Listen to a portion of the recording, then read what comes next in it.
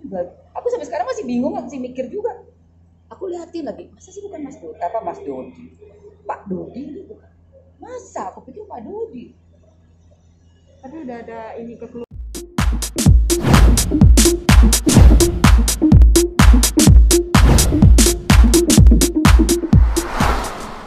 ya kayak agak beda ya. Aku sih juga kayak agak beda cuman tapi itu mamanya itu muka mamanya loh.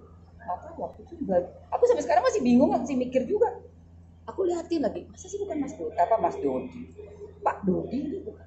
Masa? Aku pikir Pak Dodi. Tapi udah ada ini ke keluarga belum sih? Masih kayak apa mencari tahu gitu itu. enggak lah aku kan nggak kenal dan nggak pernah ketemu sama keluarganya sana. Justru aku pengen tahu keluarga mamanya Fri mana sih? Kan selama kayak masih hidup juga nggak dikenalin juga. Nggak, nggak. Sama- nggak pernah sama sekali ya dari pihak mama ya Iya. katanya kan Manado aku penasaran kan sama sama aku Manado Memang tadi siang eh, Cynthia sepupunya Vanessa itu memposting foto itu menjelaskan bahwa foto itu adalah orang tuanya Nah. dari Cynthia. nah itu apalagi Tanggapannya udah bagaimana? makin bingung Nah, eh, bingung aku juga ya nggak tahu gimana dong ayo lo Tapi Faye sendiri emang Nggak tidak menegaskan. Hah? itu mamanya Cynthia sama papanya Cynthia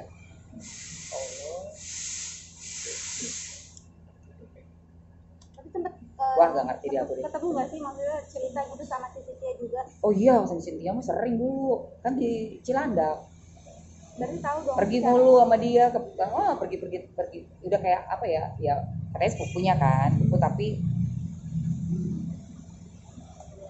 Tapi kenapa mbak? kenapa? Nggak? sepupu ya? Sepupu dari papanya Dodi ya eh pak dari Pak Dodi ya? Katanya saudara sepupunya sepersusuan. Pak Dodi ya? Wah nggak tahu Kok kayak bingung? nggak ngerti gua. Ya, gua bingung. Ya bingung lah. Nggak tahu. Itu bukan Pak Dodi. Cynthia bukan anaknya Pak Dodi. Itu fotonya fotonya siapa? Kirain Pak Dodi. Itu fotonya papa mamanya Cynthia.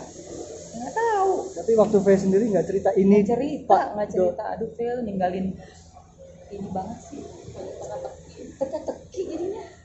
Aduh pusing deh gue kayak puzzle ya. Tapi menyayangkan kenapa baru terkuak gitu ya. oh Allah gila.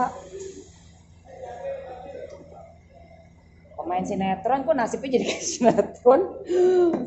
Pemainnya. Iya loh ya kalian lah yang cari berita sendiri. Apa cari tahu ke, ke situ dong. Harusnya lebih lebih detail dong. Biasanya kalau udah deket kan apa pun diceritain biasanya. iya tapi nggak cerita tapi nggak yang sampai detail. Dia cuma kasih tahu foto mamanya ini.